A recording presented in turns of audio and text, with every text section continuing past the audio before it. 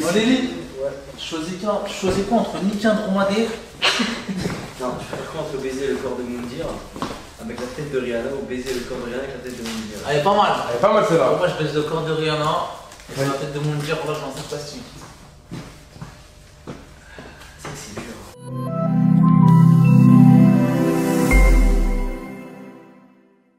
Sinon tu veux pas enlever ta petite. C'est-. Moi je, moi, je me suis tout. C'est vrai, c'est bizarre.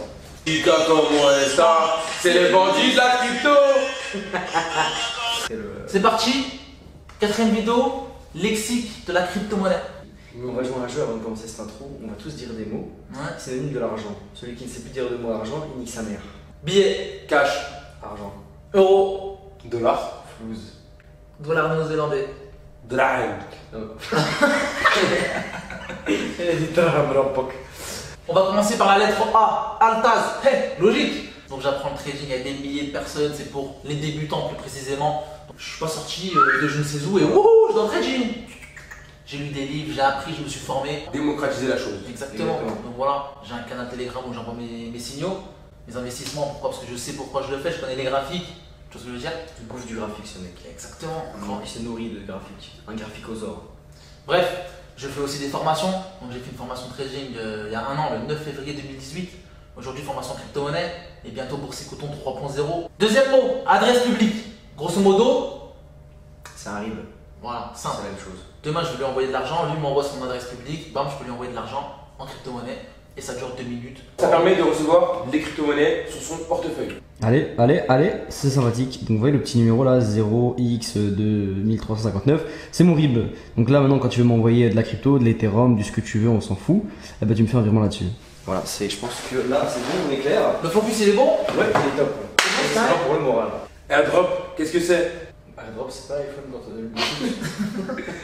Non, en fait, un airdrop, c'est lorsque l'équipe lançait son projet et vont offrir bah, des tokens euh, à des particuliers pour euh, oh là là, il y a un projet, oh, il donne ça gratuitement, oh, je vais en parler.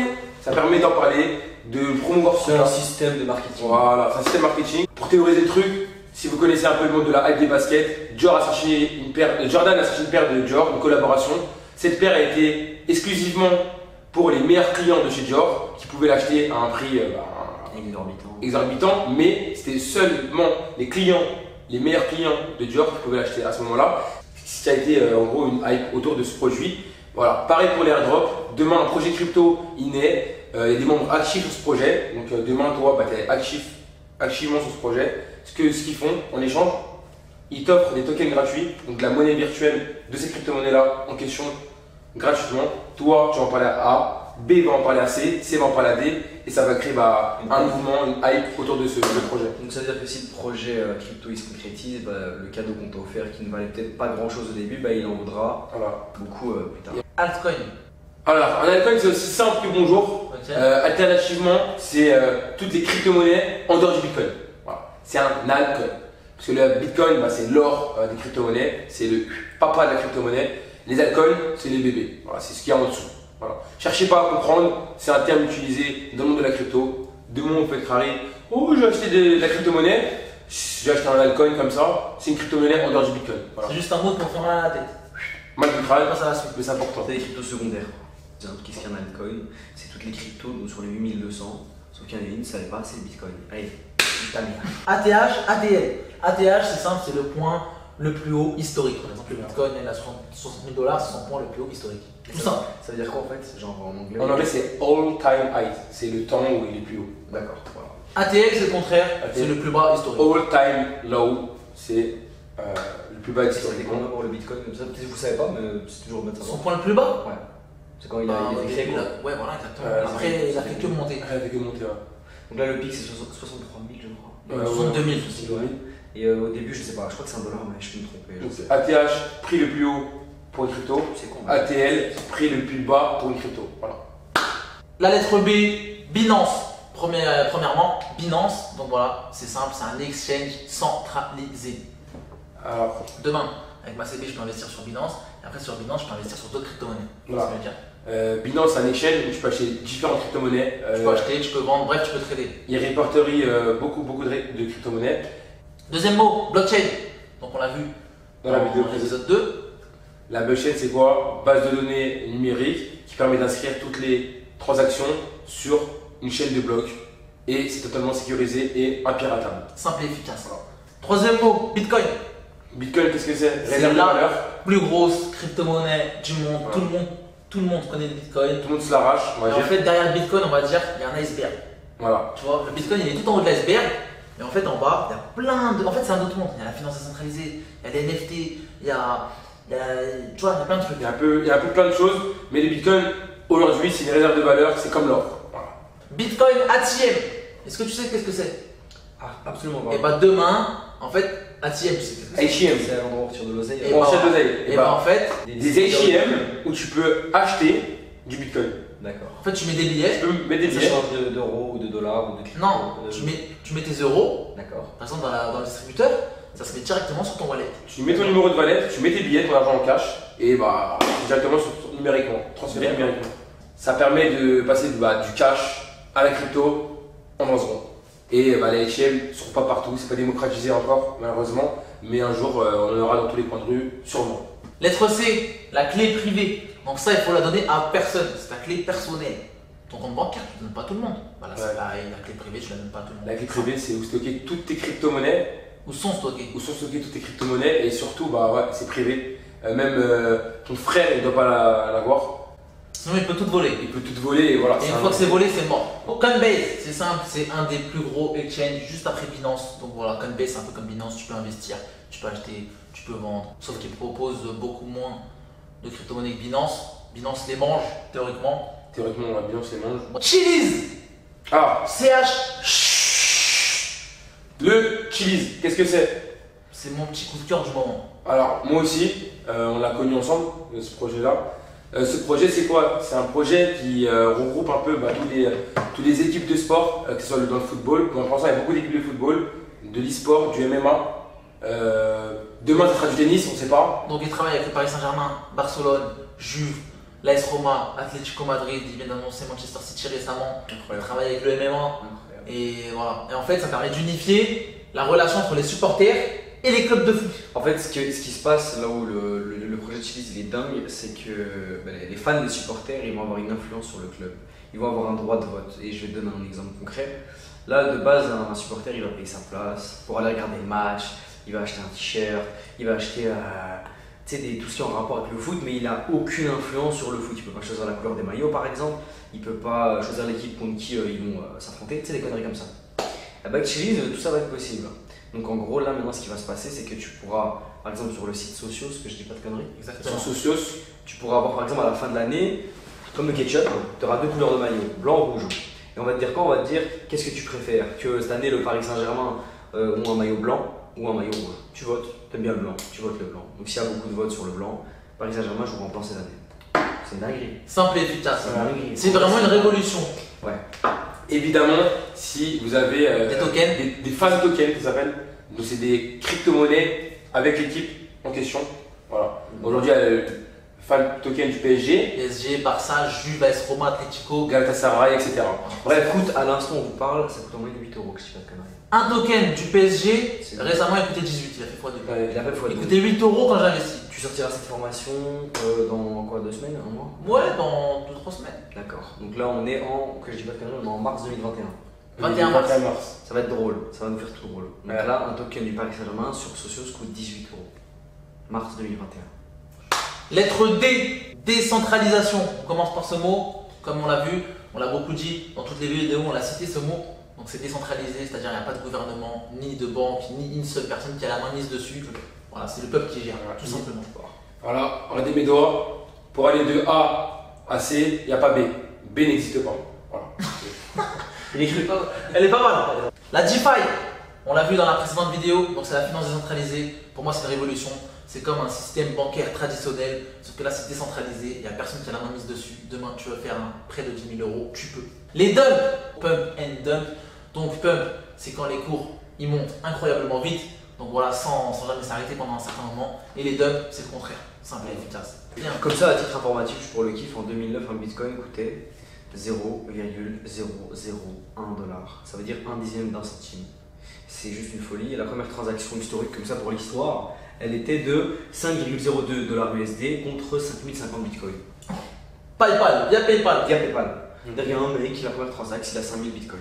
Fois 60 000 aujourd'hui, ça fait, ça fait ça fait beaucoup. Hein. C'est plus de 200 millions que j'ai Ça fait beaucoup, c'est la part vendue euh, dans les années qui ont suivi, dans les mois qui ont suivi. Il a fait ça pour déconner pour 5 dollars, aujourd'hui, il se retrouve avec 200 millions. Après, fallait y croire en 2009. C'est ça, c'est ça. Et c'est franchement, moi j'avais 9 ans, j'étais dans la cour, euh, je mangeais mon goûter à 4 heures. Tamagotchi, moi.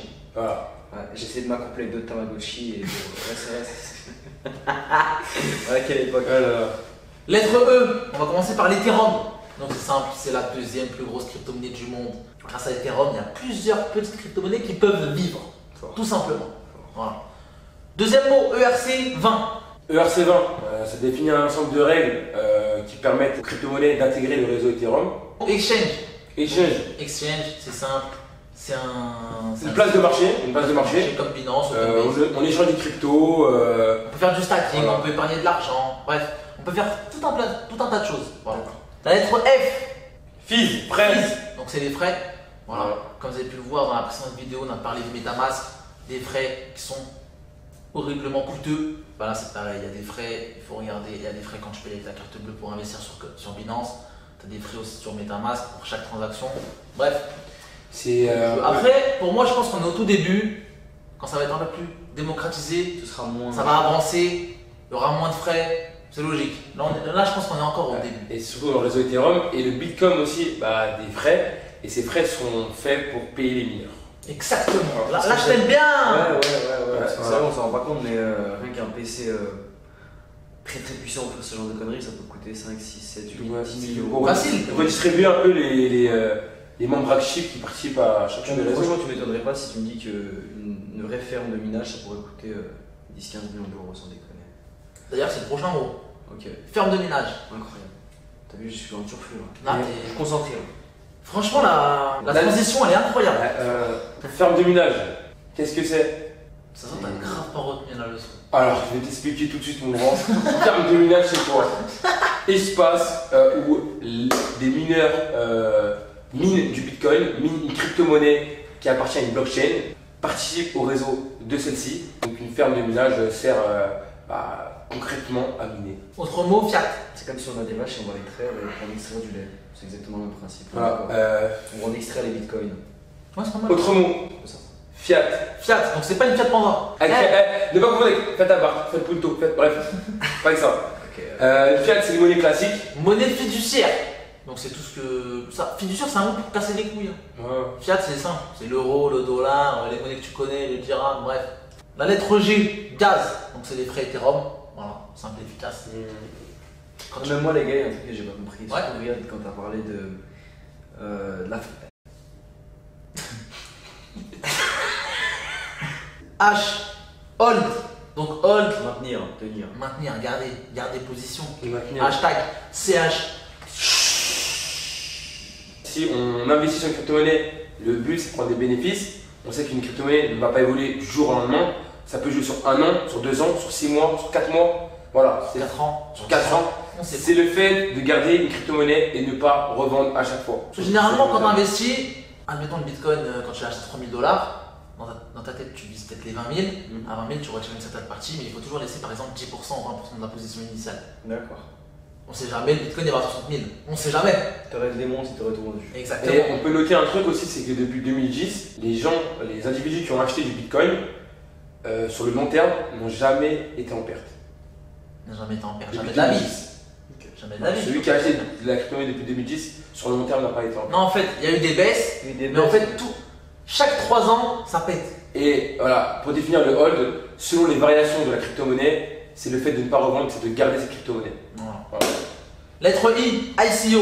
ICO, c'est un projet euh, qui va être tokenisé, où il y a des levées de fonds et des investisseurs. Et à travers ça, bah, les investisseurs ont des euh, tokens de cette, euh, cette crypto. Bref, c'est un. Prochain mot, Instagram. Faites-vous plaisir, c'est ma- c'est maintenant ou jamais, on sait jamais la vidéo elle pète. Instagram, mon Instagram, Riyad RTP. Voilà, moi je partage des photos de moi, des petites stories drôles, parfois pas drôles. Voilà, je partage un peu ma vie. On s'est connus ici, une très bonne rencontre. Aujourd'hui, je l'ai formé à la crypto-monnaie. En fait, je ramène un, sa vis- une vision extérieure. C'est ce que je veux dire. Parce que moi, je suis tellement entré dans le domaine que peut-être je vais pas l'expliquer de la même manière que lui. Que je veux dire. Et Lily, il, il connaît la crypto-monnaie, mais pas autant que nous deux. Il connaît les grandes lignes, c'est pour ça qu'on l'a ramené pour qu'il pose des questions de débutants et qu'il ramène un peu sa vision de débutant. Extérieur. Et d'un point de vue extérieur. Voilà. Exactement. Simple et efficace. Donc voilà, Instagram juste là. Lui aussi, Lily, le Zob, ça fait plaisir. humoriste, voilà, il fait des petites vidéos sur YouTube. On arrive parfois faire des blagues. Market cap, donc c'est simple, c'est la capitalisation d'un marché. Par exemple, moi je parle Bitcoin, je vais regarder qu'est-ce que c'est que le market cap, il y aura un chiffre, et en fait tout ce chiffre c'est quoi? Le volume, c'est de l'argent qui rentre et qui sort. D'accord. C'est un exemple, peu le chiffre d'affaires? Ce qui circule. Voilà, le montant total qui circule, c'est le market cap. Ne cherche pas plus loin, ne cherche pas plus haut. Minage, mineur, Minage, mineur, voilà, c'est une personne contribuant au réseau de la blockchain en minant. Il est rémunéré Directement réseau. un tel service. N, NFT. N- NFT. Là on arrive dans, le, dans la case où, je kiffe. NFT, par exemple, il y a des petits chats, c'est des NFT. Donc c'est des non-fungible tokens. C'est un chat, il sert à rien, tu peux même pas le caresser, mais il vaut 100 000 euros. T'as des petits bonhommes qui se. re- Des petits bonhommes, c'est même pas des petits bonhommes pixelisés. Je peux pas Non, je peux pas. Exemple, une, une chose numérique C'est une œuvre qui peut être unique. Voilà. Demain, il y a la Joconde.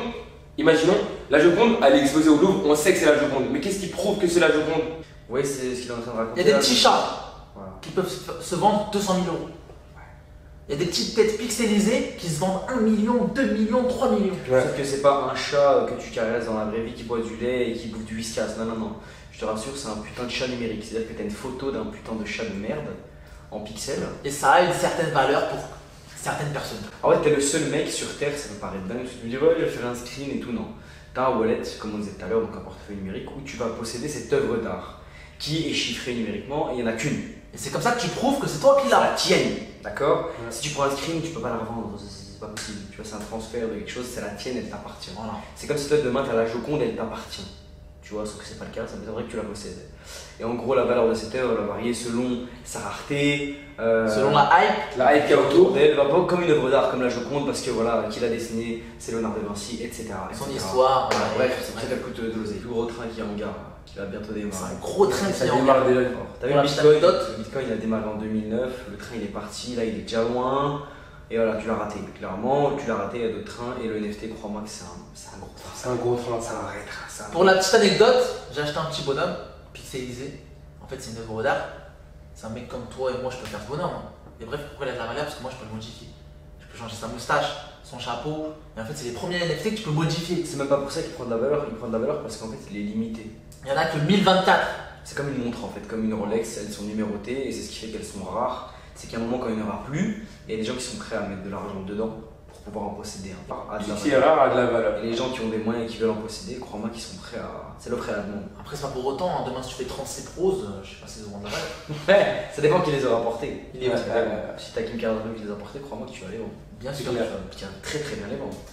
En fait, aujourd'hui, tu peux tout vendre. Ouais. Même, une, vend- même une montre à 30 euros, tu peux dire elle vaut 50 000 euros. Si demain Cristiano Ronaldo il la porte, elle vaut 50 000 euros. C'est ça, ça dépend par qui. On revient au ouais, qui a dessiné le tableau, nanana qui l'a conçu, qui machin, c'est l'histoire de l'œuvre, tu vois. C'est pour ça que ça reste toujours abstrait et euh, ça reste de l'art. c'est de c'est de l'art. Ça reste de l'art et ce qui est dingue, c'est exposé sur un, un musée virtuel. Donc ouais, au lieu de te rendre dans un musée physique où tu vas voir une œuvre avec tes yeux et déplacer et payer une entrée, tu pourras sûrement une entrée dans les musées virtuels euh, Bien sûr. et euh, tu, tu pourras regarder euh, l'œuvre de Monsieur Altaz qui s'appelait euh, Altaz Bogos, je crois. beau gosse. Très fort. Je l'ai même changé de place. Nifty Dude. Tu le trouves, je peux le trouver. Lettre P, P2P. Donc ça, c'est pair à pair. C'est simple, moi je t'envoie de l'argent, c'est pair à pair. Il n'y a pas d'intermédiaire. Simple et efficace. Tu me l'envoies, c'est moi qui le reçois. Exactement, direct. D'accord. Ça permet par exemple à deux ordinateurs de communiquer entre eux pour une transaction, etc. Super. Pump. C'est simple, c'est comme une crypto-monnaie, elle prend un certain pourcentage dans la journée, rapidement. Ouais. Par exemple, 30, 40, 50%. 100%, il y a même des crypto-monnaies qui prennent euh, 300%, 400%, ouais. je pète les plombs. Ouais, je crois le, plus, le pire que j'ai vu moi c'était Alice.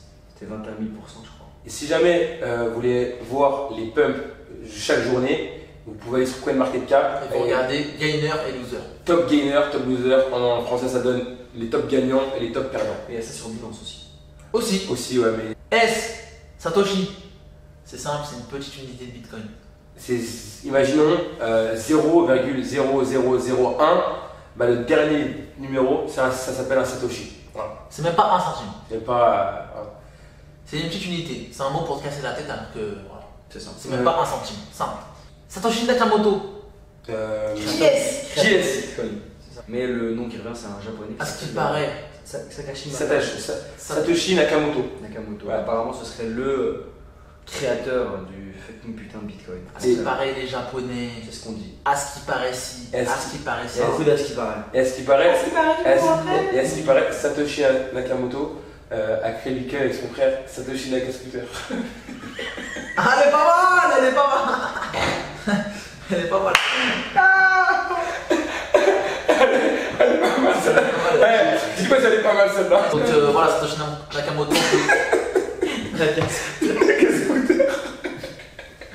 Euh, Donc on peut dire que c'est une légende. ouais, c'est une légende, Ouais, c'est le mec qui a créé un truc de ouf. C'est quand même une dinguerie. Hein. Mm. En vrai, on sort. Il y a d'autres, eh, franchement, comme ça, de tête, vous connaissez des créateurs mystérieux, genre qui ont créé un truc, on sait pas c'est qui. Non, en vrai. Non. Attends, attends, attends. C'est que c'est pas en vrai. Tu veux, tu vois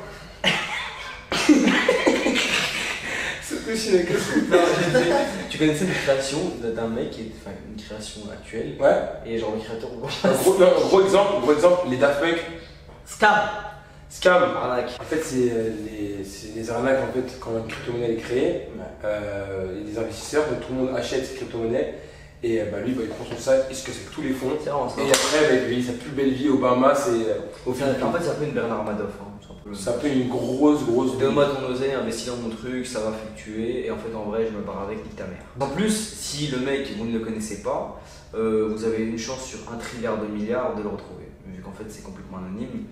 C'est un avantage et un inconvénient en vrai, ça, on va pas se mentir. Finalement, c'est. De De, que la crypto, le wallet, il est anonyme. L'anonyme, mais comment tu peux savoir si c'est un vrai projet? Il y a- il faut t'y intéresser déjà. Bien sûr. Il faut regarder le white paper. Après, en fait, le white paper. on va pas se mentir, moi je pourrais avoir un bête de projet, niquer après. Non. Pourquoi? En fait, avec- pro- première, euh, première chose, si tu regardes le white paper, tu vas voir il y a qui dans l'équipe. Imaginons, tu as mis de l'argent sur le Chili's, d'accord? D'accord. Le Chili's, il y a qui comme dans l'équipe? Il faut le regarder qui sont les les fondateurs. fondateurs. Winamax. Monsieur Dreyfus, cofondateur de Winamax. C'est quelqu'un. Euh, Xavier Niel, Tu sais que c'est quelqu'un. PDG de Free. Tu sais que c'est des personnes qui sont reconnues Après, dans le monde de l'entrepreneuriat, etc. Oui, je suis d'accord. Après, C'est pas euh, Abdelaziz qui. Par exemple, je donne un exemple, j'aurais bien. Madoff, Madoff c'est un mec qui faisait des. qui, travaille des grave au public là. Non, Lui, tu non, mais en vrai, c'est toujours- pas méchant en vrai ce que je dis. Mais en vrai, t'as vu un mec comme Winamax Fusco, il te met en confiance. Mais lui, pourquoi il pourrait pas il pourrait niquer Il pourrait ne pas te niquer, pardon. euh, C'est pas impossible. T'as vu Bernard Madoff, c'est un mec qui travaille pour des banques.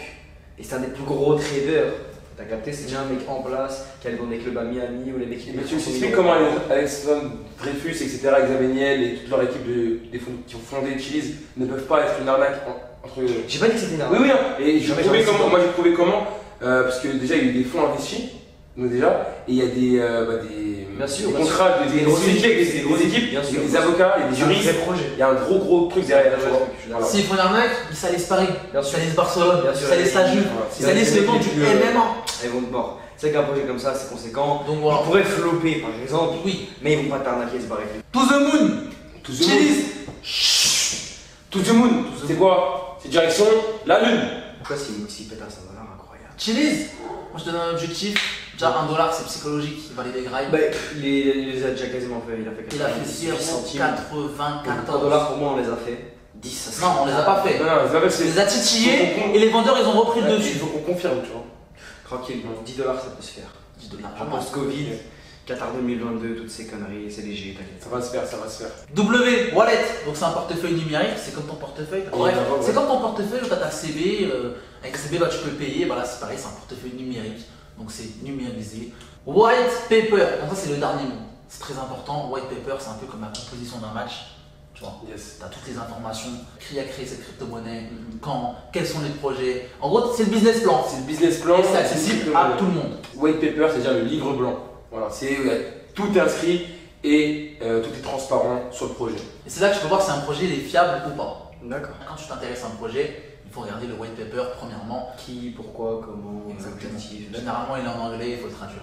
Donc voilà, les amis, on a fini le lexique. Donc voilà, j'espère que vous kiffez. N'oubliez pas que le but de cette formation, c'est d'apprendre tout en rigolant.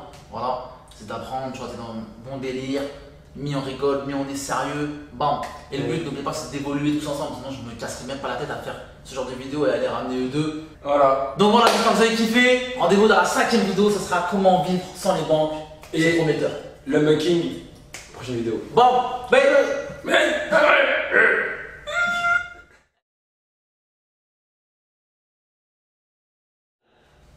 Il est mort. Ouais, c'est un ouf. Voilà. ouais, c'est vraiment un ouf. Voilà, c'est un ouf. Voilà, c'est un ouf. Là, c'est bon, on a fait.